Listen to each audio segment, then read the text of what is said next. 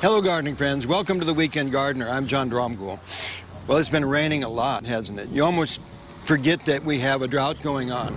And the best quality water is what falls from the sky. There's a company here in town that bottles rainwater, and uh, but they go through a long process of purification. And this is uh, essential. You can't drink water out of the rain barrels that you collect water in at home. Did you know that with a one inch rain you can collect 600 gallons of water on a thousand square foot roof? That's a lot of water. Matter of fact, it begins to run away. Here's a locally made tank that has uh, no chemicals on the inside, no BPAs, and this is a, a very nice one because when this one fills up, then the water moves over to the next one and then if you wanted a third one, well, you keep connecting them. But this is a metal one, and uh, a very nice one, and locally made.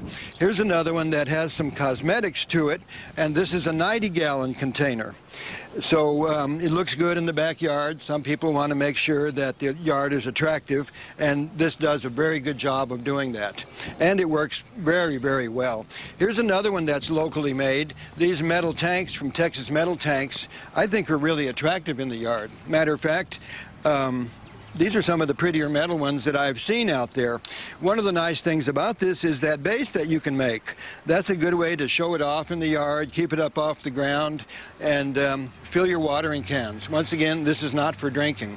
There are many other options when it comes to rain barrels, and some of these are food grade, others are cosmetic once again, and the main thing is they all collect a little bit of rainwater, the gold standard of water, in your backyard for your garden. For the Weekend Gardener, I'm John Dromgoole. I'll see you next time.